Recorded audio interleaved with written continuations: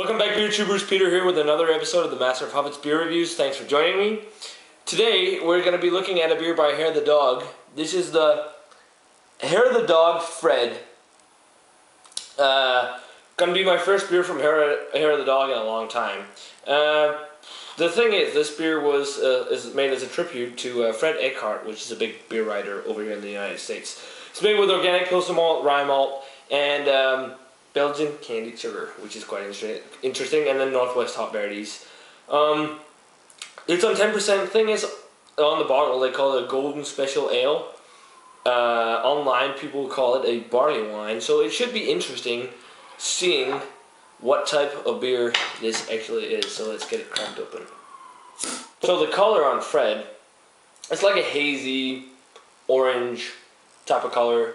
Uh, kind of looks like an IPA almost because uh, of orange notes. Three finger off whitish head. Looks like this is gonna stick around, leave some good lacing. Uh, not too much carbonation on there. Kind of looks more like a Belgian Golden than a barley wine, but just check out the aroma. Hmm, yeah, kind of smells more like a Belgian strong golden ale. I get some of those um, kind of um, more sweeter maltiness, some of that candy kind of sugar aromas to it. Don't pick up on too much of the rye. It's kind of faintly in there, kind of like a spicy backdrop to it, some kind of peppery notes. Definitely the Pilsner malt. You smell that for sure. It's got that crisp, kind of clean, sweet maltiness to it. Mmm, but a really, almost like a little bit of a honey character to it too quite malty, but then again, you get some of those more uh, fruity aspects of it, which is more like a kind of a green appley uh, kind of aroma to it. A little bit of like fresh cut grass. It smells. It smells pretty nice. More along the lines of a Belgian strong blonde ale than a barley wine. But let's give it a taste. Cheers.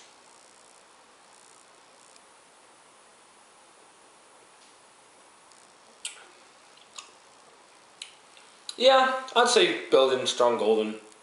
Uh, I can kind of see what people are saying about it being in barley wine, wine territory because it's quite sweet and not really syrupy, but it's quite sweet. Um, the body on it is kind of it's medium, I'd say. It's got a nice kind of creamy mouthfeel with a like a dry finish. Mm. Yeah, it's pretty tasty flavors on there. Definitely, again, the Pilsner malt shines through that kind of crispness to it. Um, a little bit of that fresh cut kind of grassy flavor to it. Decent amount of like uh, caramel kind of flavor in there, kind of toffee flavors, which is more like barley wine territory. A little bit of the apple and pear in there too. Um, kind of refreshing actually for a 10% beer, which is pretty nice. It does have a little bit of a syrupy, kind of that candy sugar flavor to it.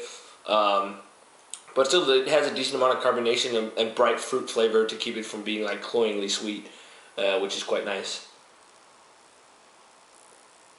Mm, not a mind-blowingly good beer, but I, I think it's pretty tasty. But yeah, it's a pretty tasty brew. Um, some of those, some a little bit of piney notes in there too, kind of. But mostly I get like the the more sweeter uh, maltiness too, like the caramel kind of toffee flavors, along with the sweet maltiness, kind of that um, flavor, a little bit of honey, grassiness kind of to it. A little bit, yeah, the kind of grassy hop and pine, but mostly other than that is more the bright fruit, kind of more Belgian character with the uh, apple and pear. So uh, yeah, rating wise for the hair of the dog, Fred.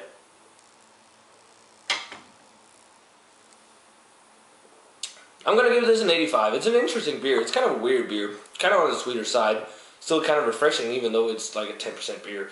But it's definitely worth your time uh, if you can get Hair the Dog beers. Not anything I'd go out of my way to get though.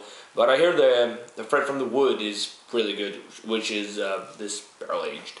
So yeah, guys, that does it for this beer review. Uh, till next time, please comment, subscribe. Cheers.